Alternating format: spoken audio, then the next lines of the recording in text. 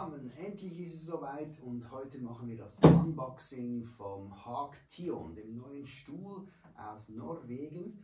Ähm, er wurde designt für Architekten, vielleicht sogar von Architekten. Er sieht auf jeden Fall sehr retro, sehr schlicht, sehr einfach aus und das ist das erste Mal, dass ich das Teil live sehe. Anschließend wird er dann hier in meinen kleinen Showroom reingestellt und kann Probe gesessen werden. Also, let's get to it.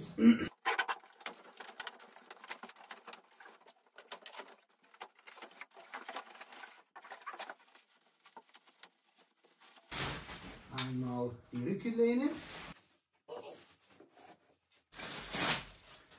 Armlehnen links oder rechts.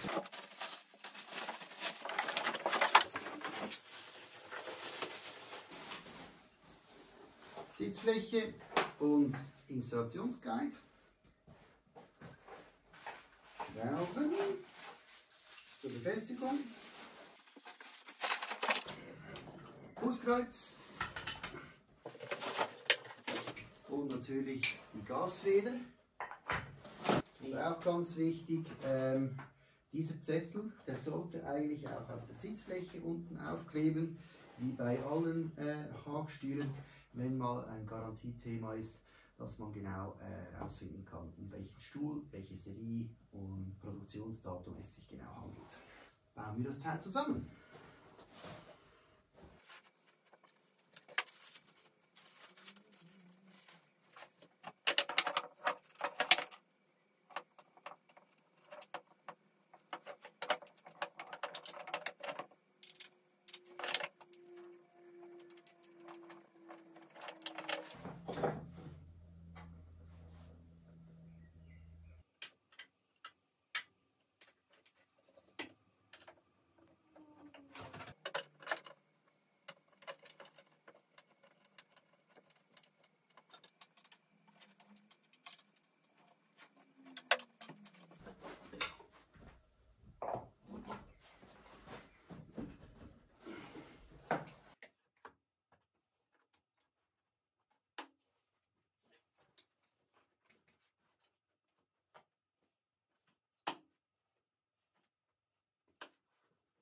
So, das wär's.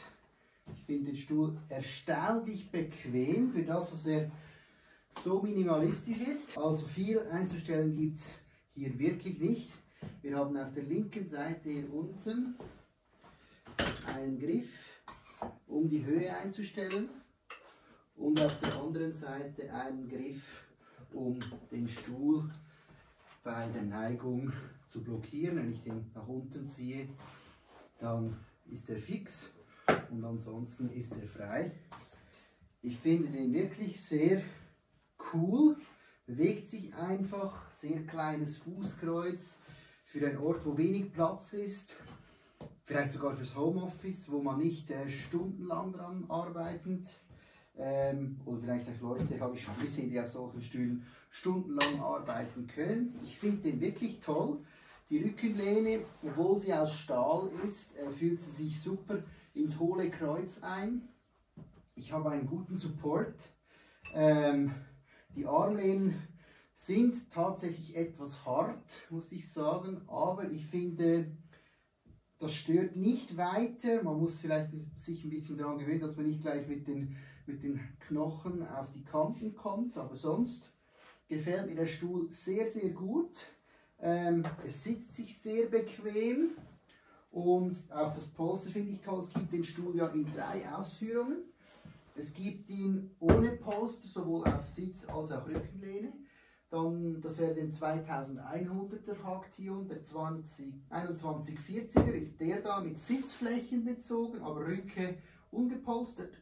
Und die dritte Version ist der 2160 äh, Haktion wo Rückenlehne und Sitzfläche gepolstert ist. Alle Modelle gibt es mit und ohne Armlehne.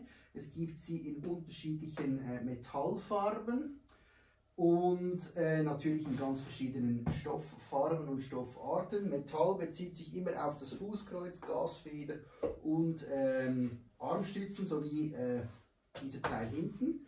Das ist ja Kunststoff.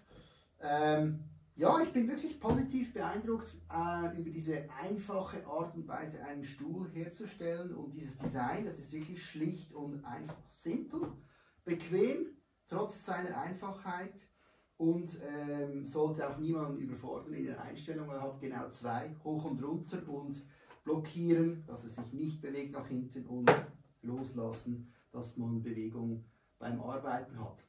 Ja, wenn du wissen möchtest, wie sich das anfühlt, wie man auf dem sitzt, komm vorbei bei mir in Zug. Ähm, oder sonst kannst du auch im Showroom von Flock in der Schweiz in äh, Glattbruck vorbeigehen. Da findest du ebenfalls äh, diesen Stuhl ausgestellt.